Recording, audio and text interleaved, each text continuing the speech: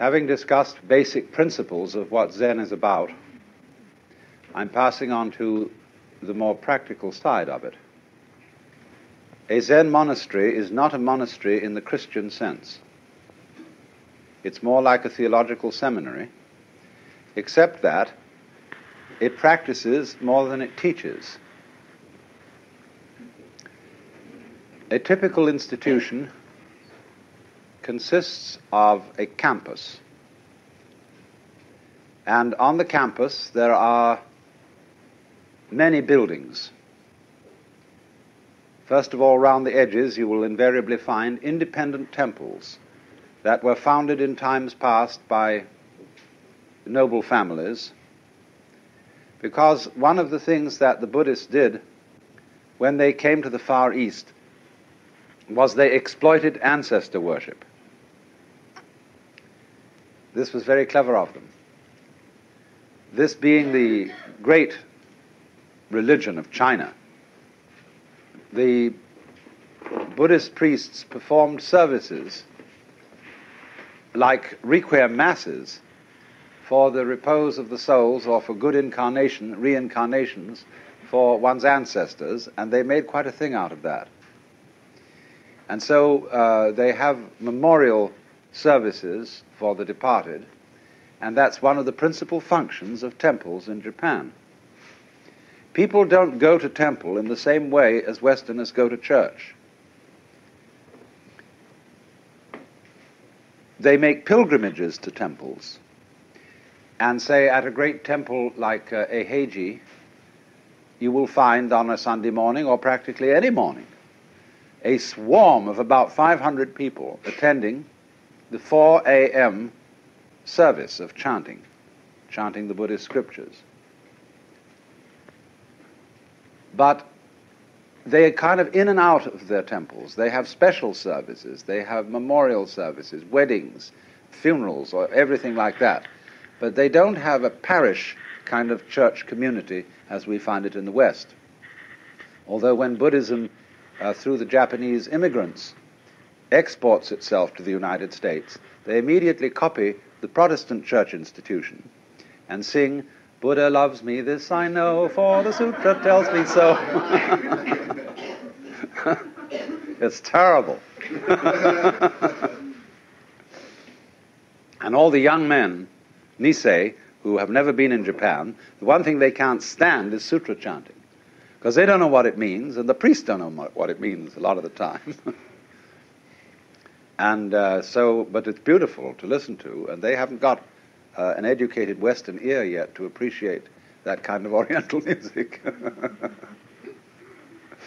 well, now, aside from these many temples, each of which is in charge of a priest with his family, and some of them are having a hard time making a go of it these days, so they've become restaurants for uh, very elegant food, or museums, and all sorts of things. Now, the central the, the guts of a Zen temple is what's called the Sodo. So in Japanese is the Sangha, the order of followers of the Buddha. Do simply means hall. So the Sangha hall or Sodo is the center.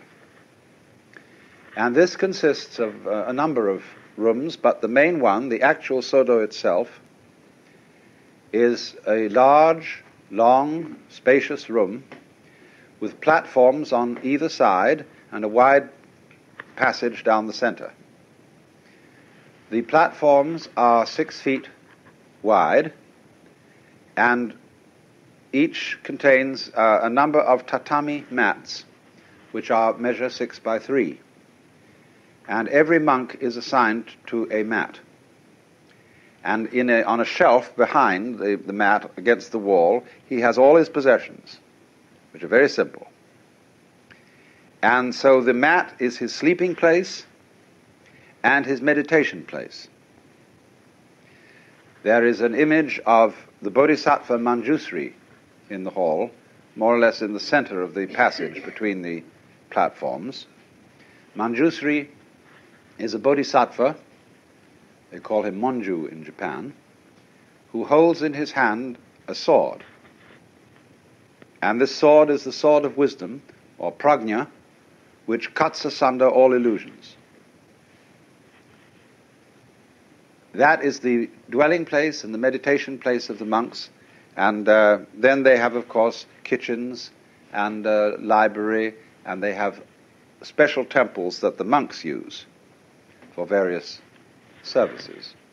Then, aside from that, there are the quarters of the Kancho, who is the abbot or administrative head of the temple, and then the quarters of the Roshi, who is the spiritual teacher.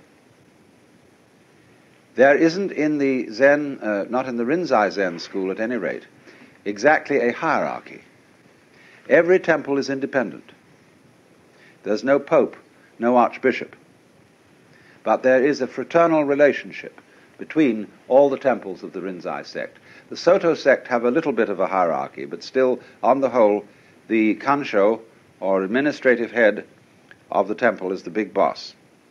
The Roshi is the respected boss, the man everybody's terrified of, at least on the outside, at any rate. Now, if you want to get into one of these institutions and study, they make it difficult. It's so different from the welcome attitude you get when you go into a Christian church. Here they repel you. Westerners, of course, are treated with a certain amount of courtesy that is not ordinarily accorded to Japanese. But even then, it's made difficult because they realize that a Westerner who's taken the trouble to learn Japanese and to get himself over the oceans and to live under unfamiliar conditions is certainly pretty serious about it. And there are a number of Western Zen monks. So funny, there's one at Eiheiji who comes from San Francisco, and he's tremendously tall and to see him with all the others is quite amusing. Anyway, the formal approach is that you arrive in your traveling gear at the gate, and the Zen monk's traveling gear is most picturesque. He wears a great mushroom on his head, an enormous straw hat, about so wide, and then he has a black robe, rather shorter than a kimono, and he has white, long white tabi socks underneath, and geta, which are the wooden sandals with uh, bridges on them to keep you high up a bit. Or he may wear just plain uh, waraji, which are straw sandals. Then he carries on the front his uh, little box in which are his eating bowls, his razor, his toothbrush, and such necessities of life.